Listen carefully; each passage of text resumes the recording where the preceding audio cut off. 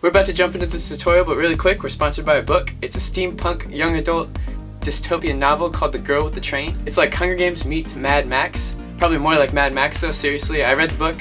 It's really good if you're looking for a really good book to read. Uh, link in the description below.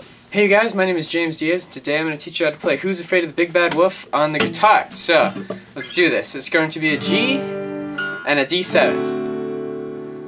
And that's all I need to know. So, um, I'm going to play the song, and I'll teach you a strumming pattern you could use.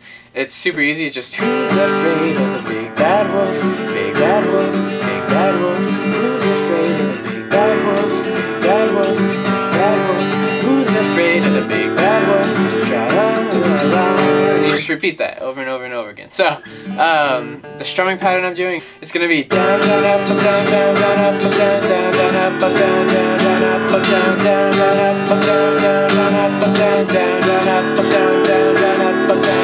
So that's a super basic strumming pattern you could use for this song. It's really easy. Thank you guys for watching. I hope that this helped. Be sure to check out the book, the link in the description below, The Girl with the Train, and I'll see you in another one.